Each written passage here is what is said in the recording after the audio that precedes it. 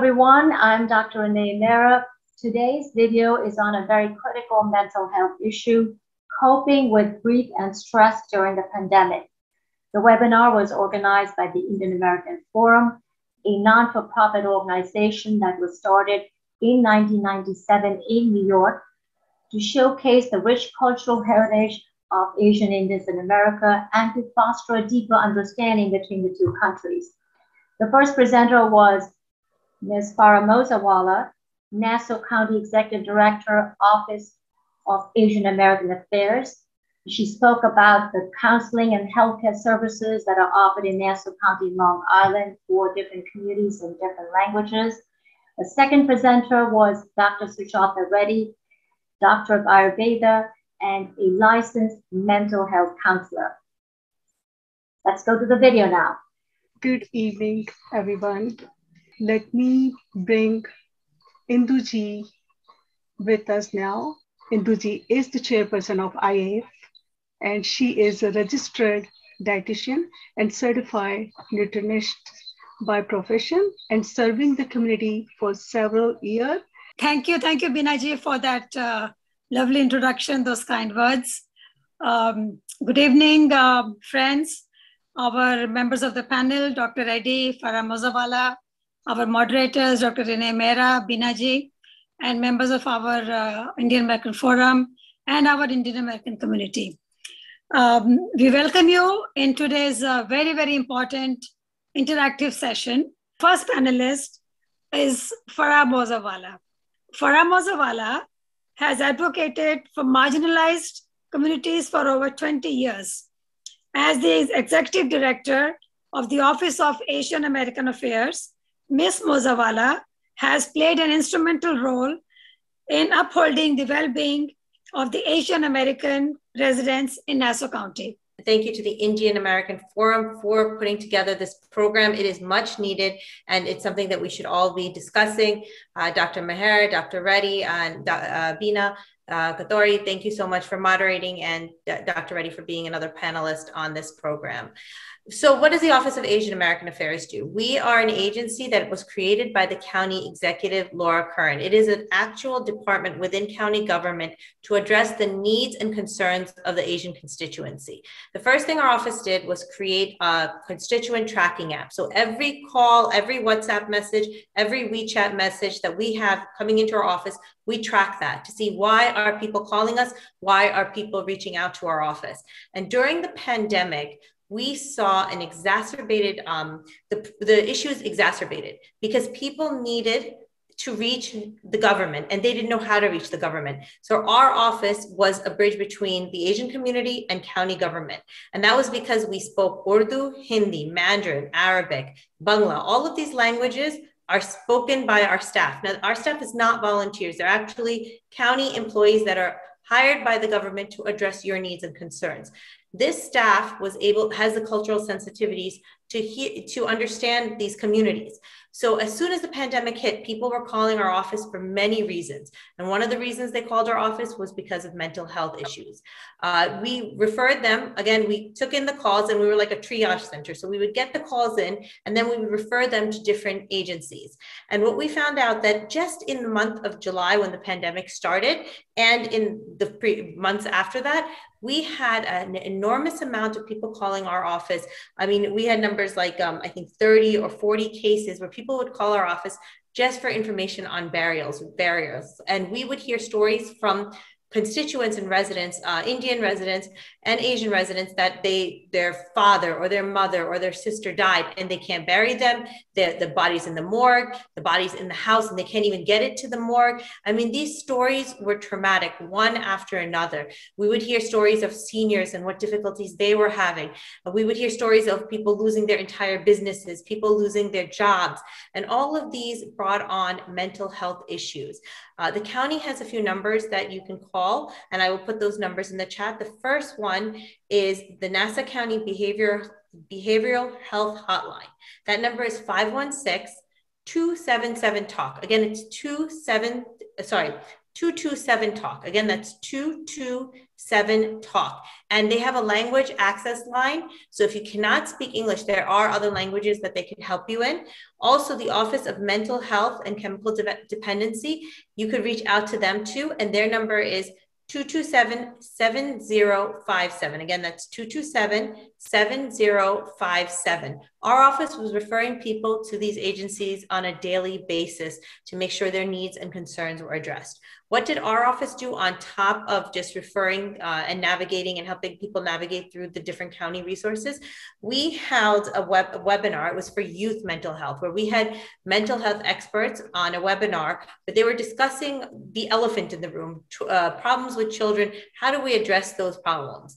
And in this viewership, we had about 3,000 people who ended up listening to this webinar. We've gotten calls about the webinar. They've been translated into various different languages. Our office also quoted posted PSAs, which are public service announcements. These announcements we put on our WhatsApp channels and on our social media and on our WeChat channels.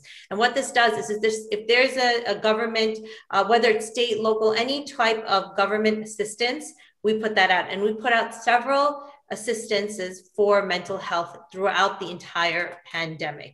And after that, also our, our office, what we did was we did virtual yoga classes because the, the people were in need of some type of stress relief. So I think on Yoga Day, there was an International Yoga Day. We do a virtual yoga class on that day. And, you know, uh, this was something that was an initiative that a stakeholder brought to us and said, maybe you guys can do this.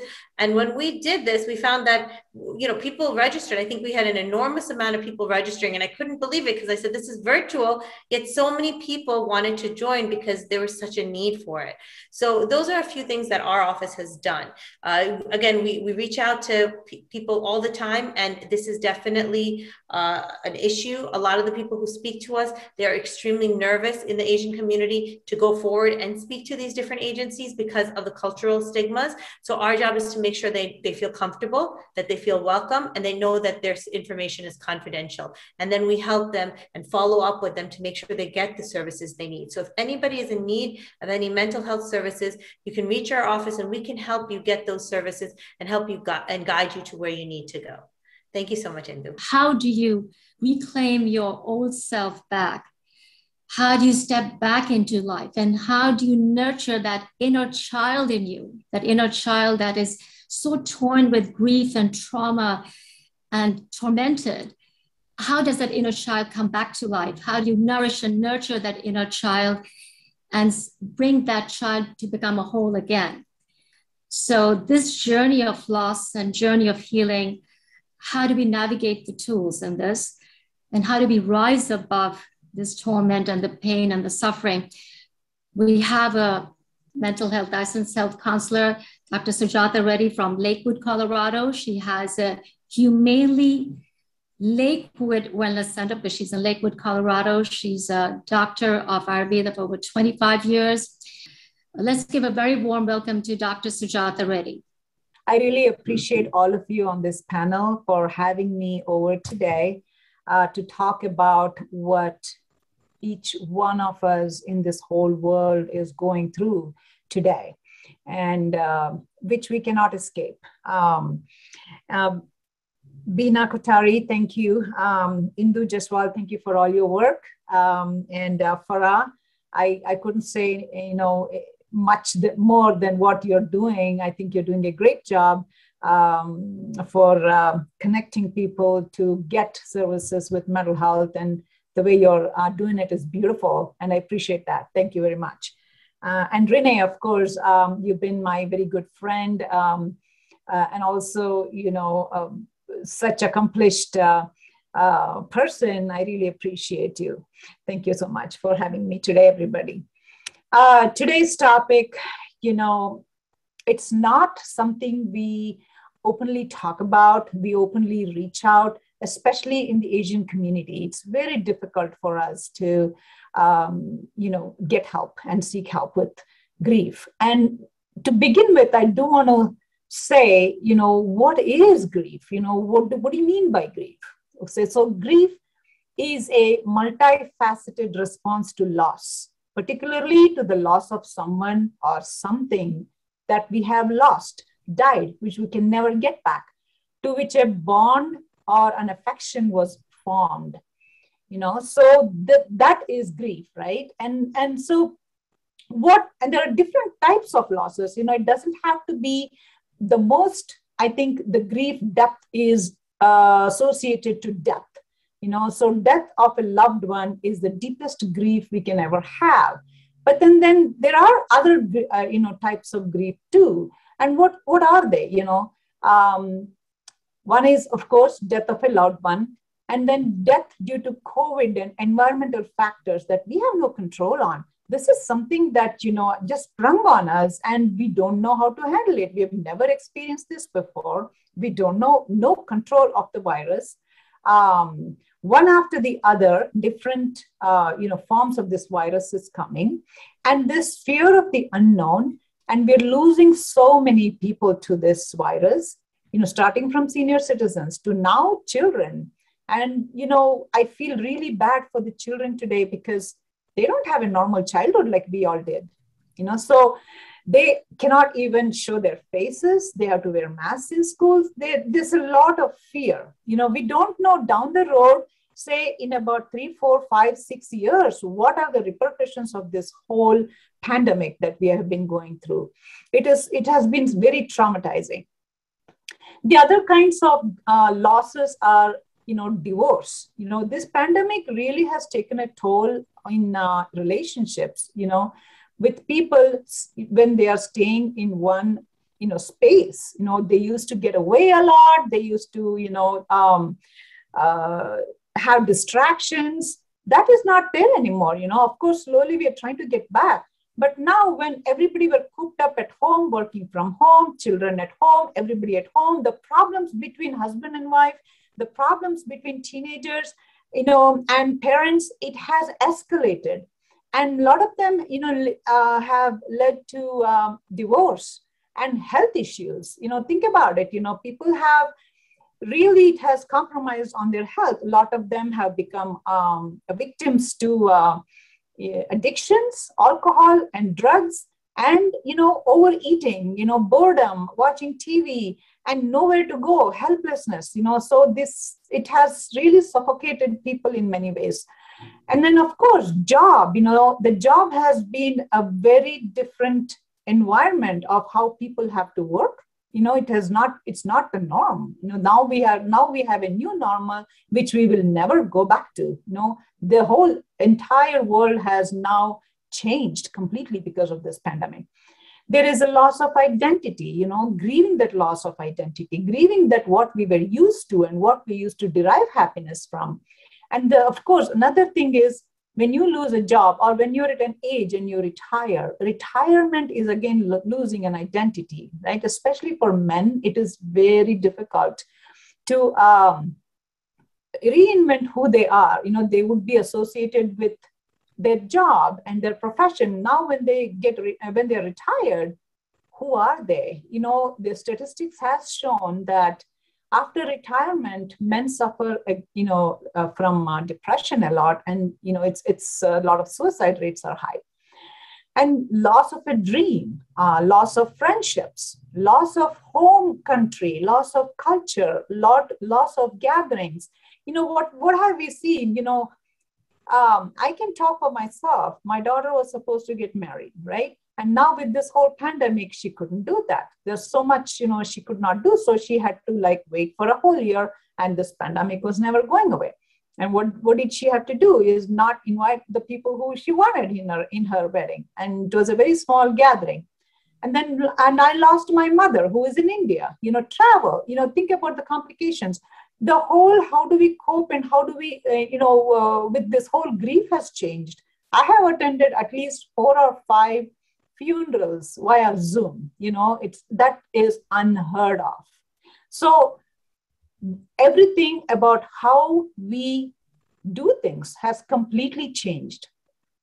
You know in different cultures especially in the asian cultures you know we have um, rituals right? When we lose somebody when a person you know uh, uh, has passed on we have some death rituals. And these death rituals you know go on from 13 to 15 days. And you know every day there is some ritual or the other that is uh, done so that we help the people to grieve. We help the people to uh, the soul to pass on you know so these are all some rituals that have been placed um, whether it is a uh, you're coming from uh, a hindu background or a muslim background or a christian background there is different rituals. And these rituals are so important for bringing people and you know friends and family together to help grieve. You know i don't know if you all remember there was a hindi movie called rudali. I don't know if you all remember that. Um, that you know movie really expressed how they had professional people who would come and cry you know because to bring out grief from people you know who were shocked and who couldn't cry and who couldn't go through grief. So it kind of helped them. So every system every every uh, religious background has their own ways of dealing with grief. Uh, like some of the things uh, that uh, faith-based rituals um, help grieving will be with a pilgrimage or temples or community activities or you know spiritual retreats. Sometimes you know there is a uh, losing faith you know in god you know. So the, people are get very upset when, you know, when they lose their loved one you know. So then they lose faith in god. You know what did god do? God just took away who i know somebody that i i wanted in my life somebody that i loved in my life. Now what am i going to do? You know there is no god. You know there's all these uh, expressions of anger right? So in uh, ayurveda you know i'm also an ayurvedic doctor. So what happens you know when grieving is not going in the normal process as it needs to go when somebody gets stuck in, in grief uh, it affects our uh, not just our mind but even you know our body especially in our body our lungs and our heart are affected by grief you know sometimes there's heavy feeling in our chest you know just it just chronically you know you feel stuck you can move on you feel heavy and so uh, lungs really hold grief, lungs and the heart. So we have to be very careful uh, about self-care and how we take care of ourselves. You know, uh, the uh, the lungs are the site of what we call in Ayurvedic terms as kapha, and it is ruled by the elements of earth and water. So it can lead to lung disease, you know, chronically if we do not, you know, take care of ourselves. Hope you liked this video. Don't forget to share and subscribe. Until next time, I'm Dr. Renee Mehrra. Stay healthy, stay positive. Thank you.